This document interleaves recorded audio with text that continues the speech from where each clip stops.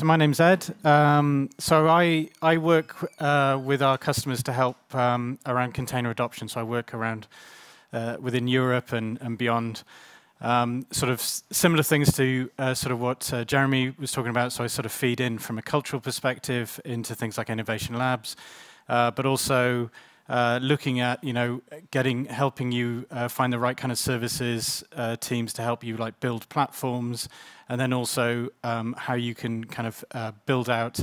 an approach for, for containerization of existing and legacy applications as well. Um, so uh, sort of covering some very similar things. Um, what I was going to do today is talk about um, just containerization. So like taking existing apps and, and how we can get those into, into containers. So I thought it would probably be a good idea to uh, just walk back on actually what a container is. So if we're running an application in a container, what, what, what we're expecting to see. Um, so if I uh, run an application uh, traditionally on a Linux operating system, then I'll have an, an, application. It may have a number of dependencies, its libraries, uh, and then it talks to uh, the Linux operating system or the kernel, the Linux kernel. Um, when I containerize it, I basically do exactly the same thing. The only difference is, is that we tell the kernel to put that application process into a, into a set of namespaces, um, and we can move those dependencies, those libraries, into uh, a namespace file system for uh, for that application, so that it actually has all of its um, all of its dependencies and everything bundled up together as as part of a, an image. And so essentially, what's going to happen then is we run our application the same within the container, but now that application uh, is still talking to that underlying Linux operating system.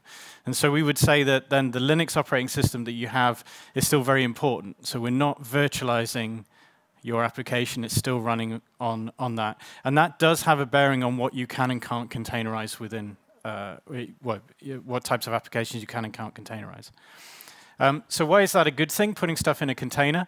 Um, well, first of all, we can distribute our applications much more easily. So uh, previously, before we had um, before we had containers, you'd have lots of different ways of packaging up your applications or explaining how to install those applications in an environment.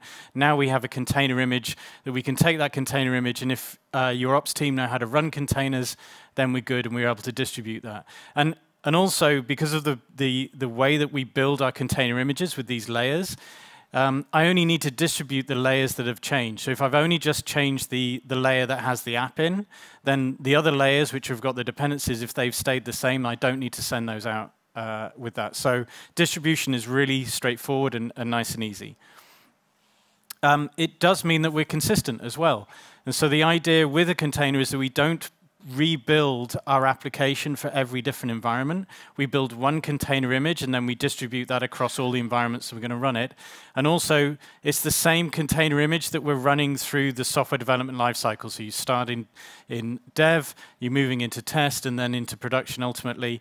Um, it means that uh, what you've got um, is consistent across those different areas. Uh, it also means that um, you can choose different uh, software technologies and languages. So um, you're creating a nice abstraction between yourself and the guys that need to run the containers. So if your developers want to use Go or Rust or Java or whatever it is, they're kind of free to put that into those container images. Um, and we get uh, the from a, a runtime perspective, we're able to to run irrespective of the the, the technology and language that's inside the container. Um, it also means that your application is encapsulated and is protected against other applications and that underlying operating system. And because it has its dependencies within that, if you, if uh, the ops team want to say patch the operating system, or another application that happens to run on that needs to be patched, all of your dependencies are actually within that container. And so we don't have that issue, well, if I patch this, then it's going to have a, a knock-on effect on my application. Because everything that application needs is carried with it in that container. Um, yeah, so we talked about that, that consistency. Uh, if it's gone wrong in production, how do I know it? How do I, how do I test that? Well, at least we know that that container image is immutable. So when I'm testing that in, uh, in development, I've got exactly the same image. I can link to exactly the same image that they're running in production. And so it should be a lot easier for me to repeat uh, the, the way that, uh, that we run our applications in production. The other thing as well is that uh, we see a lot of, and Jeremy touched on security as well, but often um, your security teams may be interested in what you're actually running. Can you show that, can we audit what's running in production and show that it's gone through uh, all of these uh, governance checks as it, as it passed various tests and things like that? Well, what we can do with the container is we can sign it so we know exactly what it is. We also have a unique uh, ID for that container. And then we, if you have the process set up in, within your organization, you'll be able to then reference that across all of those steps. So all of the gateways that it's gone through to get through into production, um, you'll be able to show that. But if you're just running a single container, well, that's, that's a trivial example. But if in, in real-world examples, you're not just running one thing, you're running a collection of applications that talk to each other. And so how do we, how do, we do that? Well, um, that's what Kubernetes is for. So it'll take your applications, it'll orchestrate them, and enable them to talk to each other uh, in a, in a non-trivial uh, architecture. Okay, so that's great. So how do we take the, all those existing applications that we've got today that we've built uh, using our traditional methods, and how do we get them into, uh, into containers? Well, first of all, how do we tell if we can actually run uh, that application in, in a container? So th the sort of rule of thumb is if it runs on Linux, then it should be able to put in a container. Well, kind of. There are a couple of red flags that you need to look for. Uh, so you generally want something that's running in user space within, uh, within a Linux system. Uh, so it's not tied to the kernel. It's not trying to. It's not a kernel module. It's not got that sort of thing. Um, so typically, a red flag would might be that you've got some code that's got assembler in it. Um, what we what, it, what is better is applications that are using uh, higher level libraries, so like libgcc, for example, because they'll do a lot of work to map you to different versions of kernels, and they'll stop you from uh, falling foul of uh, swapping between different systems with different kernel versions.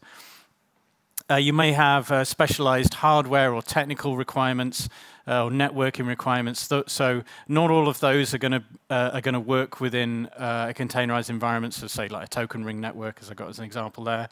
Uh, it may be a mainframe application that's difficult to to turn into an i86 architecture. So th those sorts of things can also be red flags as well. And also uh, important to remember is that where are you getting that software from? Are you getting this from a vendor?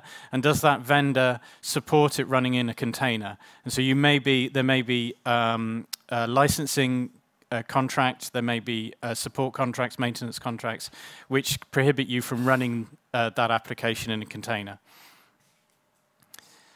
Those red flags don't mean that it won't containerize, um, and often you just need to have a conversation with the, the development team. So recently we had one where we had a customer asking, uh, well, this application is a RHEL 5 application, uh, we can't run it uh, because we don't do a RHEL 5 base image.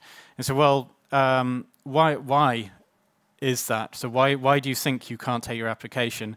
And actually, it was that the, the ops team for that application didn't support a RHEL, uh, anything other than RHEL 5. So they only supported a RHEL 5 um, operating system. But if you put stuff into a container, then we're really not worried about the operating system, we're worried about the, the user space libraries and the application. So if we can take those out and then we have uh, a supported platform, then we can do that work. So sometimes you just need to have a bit of a discovery session, talk to, um, talk to the teams around that and understand what those problems are.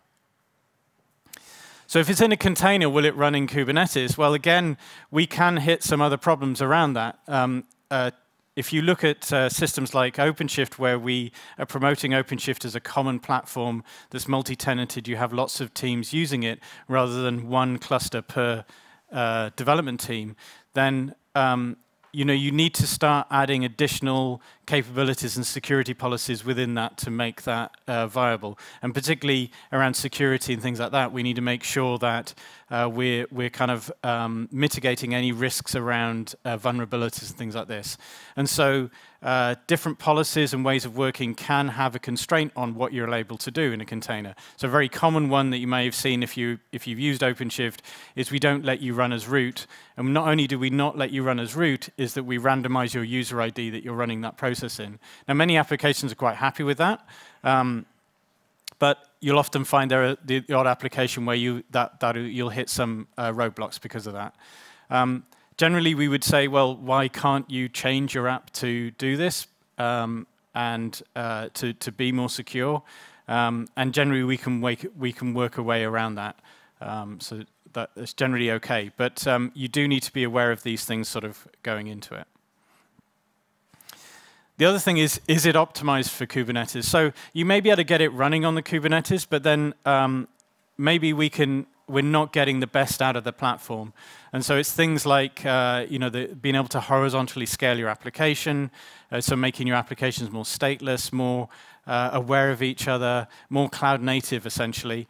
Um, and so these are sort of things that you can consider. But actually, if we if, if you can get your application onto Kubernetes and you get this workflow uh, and uh, delivery pipeline through a Kubernetes type environment, and particularly on OpenShift, then it gives you an opportunity to then uh, modernize your application then in situ um, and do that as well. So what's a good idea is to start that containerization journey with Kubernetes and not start straight with uh, uh, as you know just doing Docker files because if you start with uh, Kubernetes in mind, it changes the way that you will architect your application and, and the way that you containerize it. And you'll, um, what, I, what I hopefully I'll show you now is that we'll have, um, there are different decisions that you're making during that development process and that containerization process, and Kubernetes takes you down a different road. Um, in particular, it gives you opportunities to have something which is, uh, you know, to drive towards things like microservice architectures, but use things like sidecars, which I'll explain in a minute, um, and to actually take uh, a logical, your logical design for your application and sort of transpose that into a, a, running operation, operational environment. If you contrast that with a traditional approach for applications, um, you typically have a logical design for your application, and then you have uh, this is the physical realization of it. So we'll have a number of servers, and then each server's got its own manifest, and they've got different things installed on them. And so that what you what you end up with, what you actually deploy into production, doesn't really look like your original design. Um, Kubernetes actually gives you an opportunity to essentially implement your logical design uh, within the platform. So where's OpenShift and all this? Uh, so I, am sure someone's mentioned this already today. So, um, so the upstream community, uh, OKD, uh, is um, derives from Kubernetes and a whole bunch of other uh, upstream projects, uh, and creates uh, it's the um, upstream OpenShift community, and then feeding from that, the various different versions of OpenShift that you can consume. So OpenShift Container Platform being the one that you build and manage yourself on premise um, or in the in cloud, uh, whereas Dedicated is a managed service that we offer, uh, and online is a is a an open managed service um, that we share with lots of different uh, organizations. So OpenShift Container Platform is certified Kubernetes, so you can use uh, Kubernetes uh, constructs and, and, objects and everything within it uh, OpenShift does add some additional extensions, um, but that's part of our work with uh, the community. So why use that instead of doing it yourself? Well, um, really it's about the most important thing in your business are the business outcomes, and those business outcomes are derived by the applications that you're going to be running on this platform. And whilst it can be very interesting to build your own Kubernetes and build all of these services that are in there, like registries and logging and metrics and um, service meshes and things like this, um, it's actually better just to be focusing on your applications uh, and um, OpenShift gives you an opportunity to basically build that platform for you, and then you can then focus on those apps. So, okay, using OpenShift. So maybe you're already building containers, um, so you don't need OpenShift to build your containers for you, right? So you've already got your Docker files and things like that. Well, that's great actually because OpenShift will you can point OpenShift at your Docker files, and it then becomes a, basically a build farm for your um, for your containers. So not only will it build those containers, but it then has a registry where it'll store them, and they'll be nice and secure in there. So you've got your own. You can manage the security and the access of those containers. We also uh, wrap a whole bunch of metadata around that. Uh, so if you've if that um, Docker file is say in a Git repo, you'll have um, the uh, the commit uh, reference and things like this within the metadata, um, all bundled into that container and then stored for you. And so instead of having you know three or four servers sitting there that their job is to build containers, you now can just fire that into a into a Kubernetes cluster and it will build those containers for you. Uh, it gives you an opportunity to increase and reuse uh, with those Docker files. So your traditional approach is to, with a Docker file, is to say, well, from some OS base, so like Alpine or something like that, uh, add some application dependencies, uh, and um, you know everything that I need for my app, and off I go. Uh, whereas um, we can now start looking at a, a, kind of a build pipeline for your containers and going to vendors to get um, uh, third-party containers uh, that maybe you add your own specializations to, and then again, focus on your app. We just, your, all your Docker file needs to do is take the binary from your application and then drop it into, um, into your container, into a base image. So an example of that would be this uh, Tomcat one. So uh, this was based on a, on a Tomcat uh, example that someone had put on, on GitHub. Um, this is typically what you would see in a Docker file. So you've got, you know, we start from a JDK base. They're, they're installing lots of dependencies. There's lots of making directories, making sure the permissions are correct, uh, downloading binaries and things like that for the application, putting them in the right place, uh, applying any static config uh, for that, adding maybe uh, init scripts and stuff like this, uh, and then uh, explaining how that application is going to run. But if you take um, an upstream Tomcat vendor image, uh, we can basically simplify that into three steps, which is basically um, get uh, get the binary and drop it into into a, the deployment directory for your for your Tomcat. Um, maybe add some standard uh, libraries and things like that. If you needed, maybe you wanted to uh, connect yours to a MS SQL server database, so you need to pop in the driver. Uh, you just need to add that as an extra step. So again, we're focusing on the application using that approach.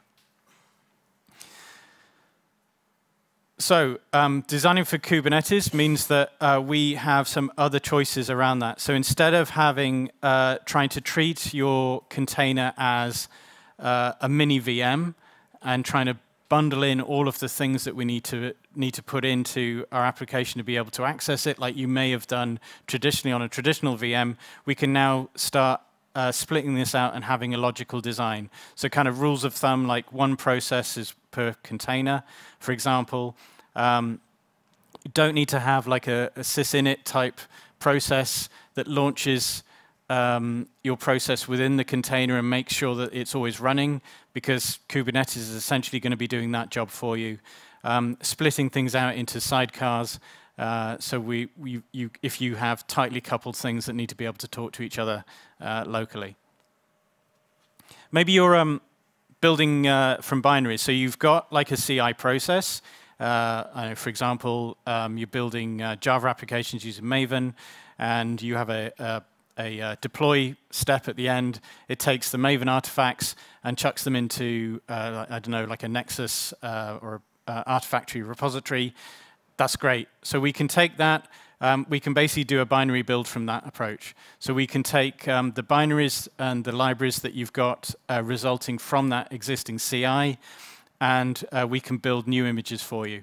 Um, so that's that's really easy as well. So we can do that. Um, Maybe uh, you, you're starting a new project, you've written some source code, and you just want to check that this is working nicely in, in a, a, Kubernetes environment, we can do that as well. So source to image enables us to take, uh, you just point us at your source code, we will build um, your source code for you, and then build the container, and then run your container. Uh, so it's all about accelerating uh, and getting you into the platform as, as quickly as possible.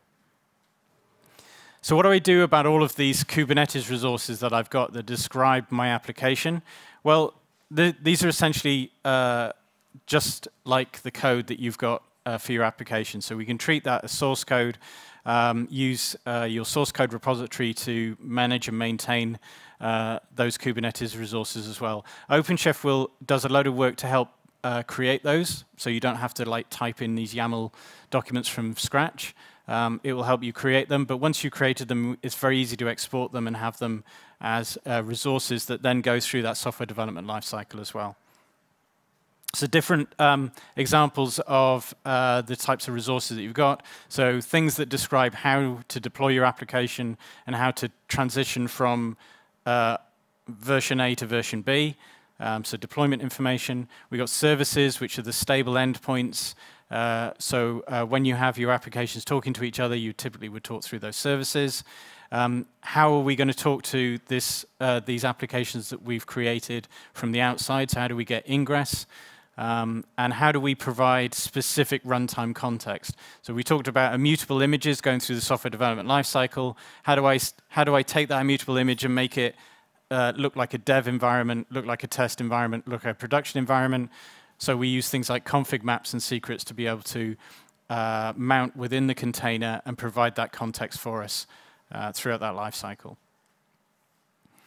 Okay, so let's look at a particular example. Can I containerize this uh, web app? Uh, so this was taken from an actual example with a customer and say, well, it's a Tomcat app, and that was like great because we got a Tomcat image, so that's cool.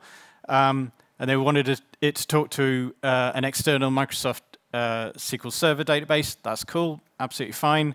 Uh, they were using the ODBC Java driver. Okay, so it makes it a little bit fiddly. We need to make sure that we uh, build them a custom image with that driver built in, but that's actually super easy, so we can do that. That's not a problem. Uh, and they wanted it to, the ODBC driver used a valid Kerberos token to authenticate to the database. It didn't use username and password. And so that's where it became like a little bit tricky. So, okay, uh, so we'll need to get some kind of token somehow. So the first thing I asked was like, well, how do you guys do this today? And they said, well, uh, what we do is we install a Tomcat server and then we run um, a cron job which does a kinit with a service account and just makes sure that the token is always up to date. So I think they gave a, their tokens expired after about an hour. So, okay. Um, and you don't want to rewrite your code. No, they didn't want to rewrite the code. So, right. So that's what they were doing today. Um, so we said, well, look, um, what you could do, and this is actually the, which is where they, they were kind of heading, was, um, all right, so if we create a custom container and we write, um, we write essentially that cron job to sit inside that container that's going to do that. It's going to do the kinit for us. And we can provide like the, um, you know, the, the, the uh, initial credentials through, uh, through a secret. Um, so we get the keytab and we do it that way. Um, and I said, well, look, you know, you, you could do it that way, but then you've basically your, that application has got that uh, Kerberos stuff built into it. Um, and they said, well, maybe, okay, well, maybe we could put that into another container which sits outside and we somehow inject the token into it in some way. And I said, well, actually, I think what the preferred option would be using this sidecar approach.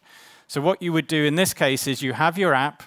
Your app is expecting to have a Kerberos token that's valid. Um, but we write another container, and its job is just simply to get that Kerberos token and authenticate it. And they said, well, how does that, how, how do the two containers like share that information? And so when you run sidecar containers, we're able to share different bits of capability within uh, a Kubernetes pod. And one of them is shared memory. So we can have a shared memory space, a, a, a directory uh, that's basically a temporary file system. If I put something into, I put a file into that directory in one container, it then the other container can then see it. And so we can share information in that way. And so what that means is that we can create uh, a container that just does the initialization, and, and you can then have a standard uh, container for creating um, the uh, uh to, for running the application. So in order to um, to test this out, we did an architectural spike. So an architectural spike, we want to we have one thing that we need to test, and it's that we can essentially authenticate our, um, uh, uh, get, a, get a valid token, Kerberos token, using one container, and then show that we've got a valid token in the other container. Um, and so in order for us to do that, we needed some sort of tame Kerberos KDC that we could talk to. Um, we needed a test application, and we needed to build our sidecar application. Uh, so I actually created a test Kerberos server to help do this. And so this, again, used two, uh, used a sidecar approach as well. And so the Kerberos test server, so we ran a KDC process and we ran the KAdmin process, uh, both in separate containers, and they were using the shared memory as well to talk to each other. Um, so it's a bit like how you would install it normally. And because both of those two things run as a service within, um, normally if you install them on a, on, a, on a Linux server, so we ran them in two separate containers. Um, and so actually what we ended up with was this stack here. So we've got two pods. We've got a pod which is the KDC pod. That's our test server, and it has a service uh, for that. And then we had the application pod, which um, had our application in it. Uh, and uh, in, in this case, it was a uh, because it was a uh, architectural spike, our application just simply did a k-list. So if you do k-list, it tells you if you've got an authenticated token. And then we did the, the K-init sidecar, which did the initial initialization. So it worked like this. There's actually a test script. Uh, you can run this uh, if you've got an OpenShift environment that's running. If you run this test script, it will basically create this as an example. It basically provisions the KDC server. It provisions the test app with the, with the sidecar. Uh, it runs kadmin to uh, basically create a new account in the KDC um, uh, server and then passes that to uh, the application. So I do actually have a little video of it running, if you wanted to see that running. Um, so this was the, the example. Uh, so we've got the KDC server that's running, which is there, it's just starting up. And then here's our test application. And so if you've not seen this in OpenShift, if you look at the pod, uh, so I think I click through into the pod, and then we look at the logs, you'll see that we've got both containers running. And then in the, when you look at logs, you get a drop down so you can look at the console from one container or console from the other one. So in this one here, it's showing you the, the console from the KInit sidecar. So it's just waiting to get uh, the credentials. You see that it gets uh, should get credentials in a minute. There we go. So we've got we've actually logged on and we've uh, it's got we've got a valid token. And then if we swap to the example application, which was just basically looping and waiting till we got credentials, and we can see that we've then got the uh, credentials coming through in that test application.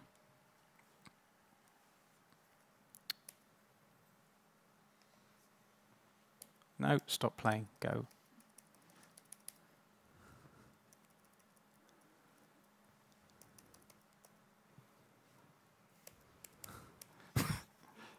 yeah, I know. Yeah, okay, and uh, right, there we go. So um, what what I wanted to show here was really that um, Kubernetes changed the way that we solved this as a problem. And it's given us something which we've got very clear separation of control uh, concerns. We've got um, something that's reusable. So if someone came along and said, right, I've got a Go application which needs to do the same thing, we can basically use the same technology. We don't need to rewrite it for the Go application.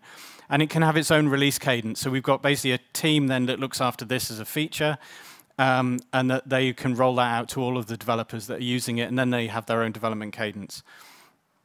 If you look at um, how this is being uh, rolled out across things like Kubernetes, Istio is a good example of this. So Istio provides um, is providing you with a service mesh so you can control and manage uh, your uh, APIs within the platform.